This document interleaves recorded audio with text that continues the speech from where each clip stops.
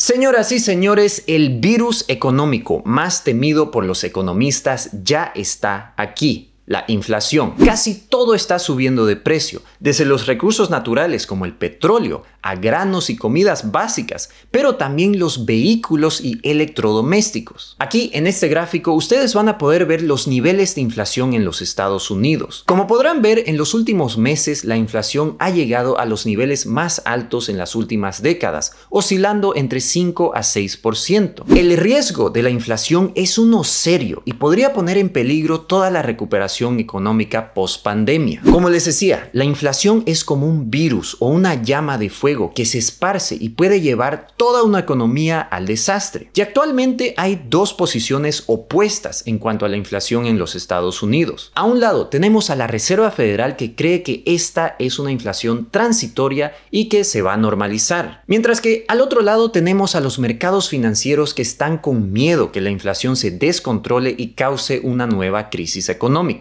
Pero, ¿deberíamos preocuparnos por una inflación descontrolada? ¿Quién tiene la razón aquí? En este video vamos a analizar cuáles son las causas de esta inflación y cuáles podrían ser las consecuencias en la economía de dicha inflación en el futuro. Entonces, para poder empezar a entender lo que está pasando, tenemos que entender cuáles son las causas de la inflación. Como ustedes sabrán, la inflación es la subida de precios al consumidor. Es decir, esos son los precios de todos los productos y servicios que consumimos día a día, desde la leche, el pan, los huevos, pero también productos y servicios como los teléfonos móviles, los automóviles y el costo de la electricidad. En general, los bancos centrales en el mundo quieren que la inflación esté en un nivel saludable de alrededor de 2% anual. Y en una economía de libre mercado, los precios son determinados por la oferta y la demanda. Solo para darles un ejemplo, si hay mucha oferta de automóviles en el mercado y poca demanda, el precio va a bajar. Y en el caso opuesto, si hay poca oferta de automóviles y mucha demanda, lo opuesto pasa, el precio de estos sube. Así que para poder entender las causas de la inflación, tenemos que entender a detalle los cambios en la oferta y la demanda de productos y servicios. Empecemos a ver el lado de la demanda que es un poco más simple. La demanda conjunta en una economía es determinada por un incremento del consumo. Si la población consume más, esto hace que la demanda suba. Y para que la población consuma más productos y servicios, normalmente se necesita algún tipo de estímulo. En el caso de los Estados Unidos, la inflación está subiendo porque hay mucho más demanda ahora gracias a los estímulos del gobierno. Ustedes ya me han escuchado decir que en el año 2020 se imprimieron casi 25% más dólares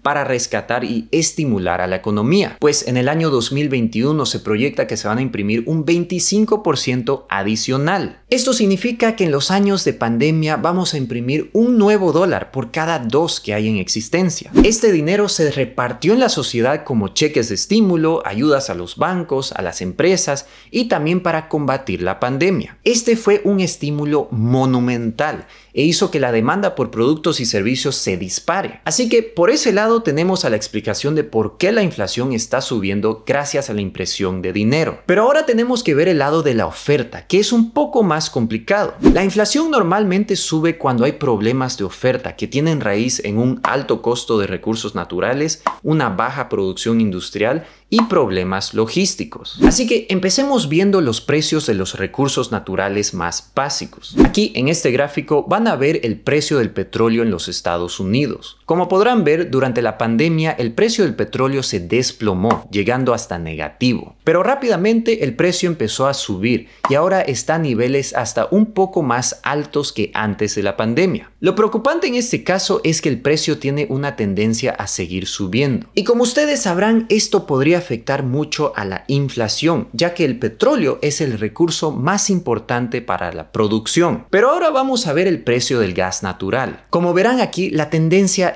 la misma. El precio del gas natural se desplomó durante la pandemia, pero empezó a subir llegando a niveles más altos que antes de la pandemia. En el caso del gas natural, este también va a seguir subiendo según las últimas proyecciones. Es más, ahora mismo Europa está viendo una crisis energética muy seria. Esto probablemente haga que los precios del gas en Estados Unidos suba aún más. Luego, veamos el precio de los granos, empezando por la soya. El precio de la soya está a niveles altísimos tan altos que estos no se han visto desde hace casi 10 años. Y puede que no sepan, pero existe una sequía seria en Brasil, Paraguay y Argentina, que probablemente haga que el precio siga subiendo en los próximos meses. Y finalmente veamos el precio del trigo. El trigo, como la soya, también está a niveles altos. La última vez que los precios del trigo estaban a este nivel era en el año 2014. Y bueno, ¿qué significa todo esto? Pues claramente los precios de los recursos naturales están más altos que antes de la pandemia y con una tendencia a seguir subiendo. Si los precios de los recursos naturales suben, esto significa que nosotros, los consumidores, también vamos a tener que pagar precios más altos por los productos que compramos,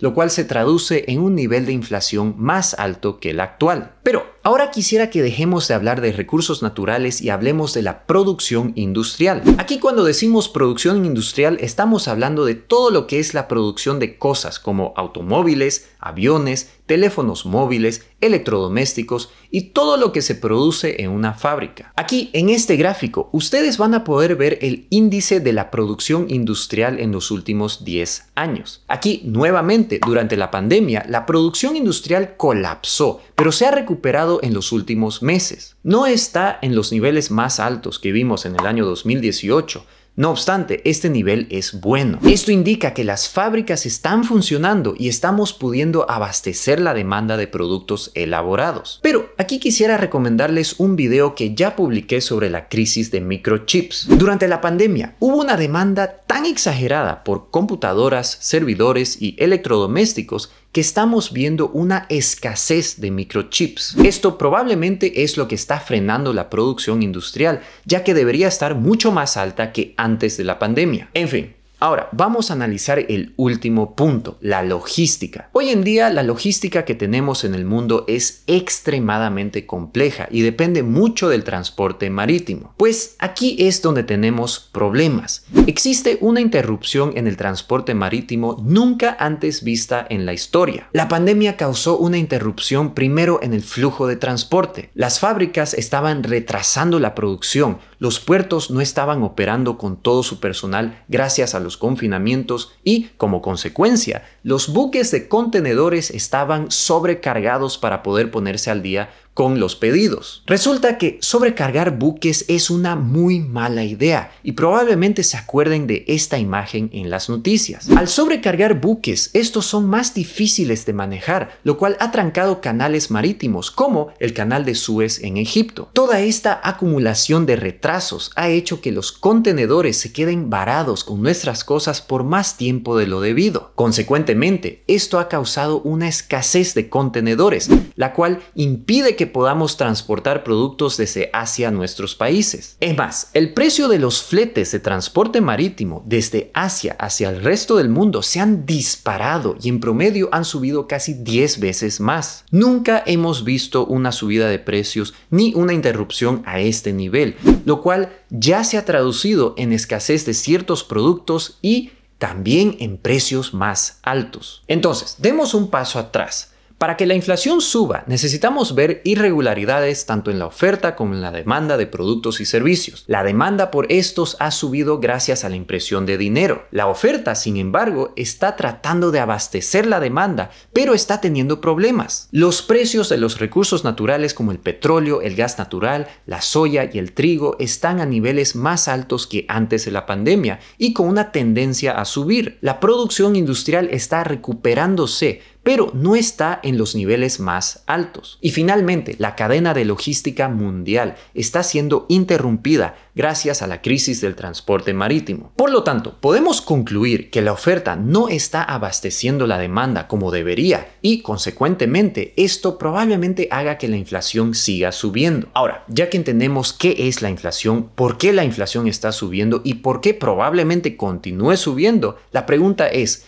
¿cuánto más va a subir y ¿Cómo va a afectar esto a la economía? Pues como les dije al comienzo de este video, la Reserva Federal cree que la inflación que estamos viendo va a ser transitoria y que se va a normalizar. Pero ellos han dicho que si algo fuese a cambiar, ellos van a reconocer que la inflación se está descontrolando y que van a actuar. Esto es lo que nos preocupa. Ya les dije que la Reserva Federal ha estado y sigue imprimiendo dólares. Pues otra cosa que la Reserva Federal está haciendo es que está dejando su interés en cero. Esto lo hicieron durante la pandemia para poder estimular la economía. Al bajar los intereses a cero, los demás intereses de créditos bancarios también disminuyen. Esto lo hacen para que las empresas y consumidores empiecen a endeudarse aún más. Con deudas baratas, ¿quién no quisiera prestarse dinero? Y al endeudarnos, nosotros estamos usando todo ese crédito para hacer crecer nuestros negocios y para consumir más. Pero si la inflación se empieza a descontrolar, la Reserva Federal probablemente deje de estimular a la economía con dólares impresos y con intereses en cero. Probablemente empiecen a parar la impresión de dólares y también van a empezar a subir los intereses. Esto es lo preocupante. Hay tanta deuda actualmente que si los intereses de nuestras deudas suben, vamos a ver una ola de bancarrotas nunca antes vista. Si esto llegaría a pasar,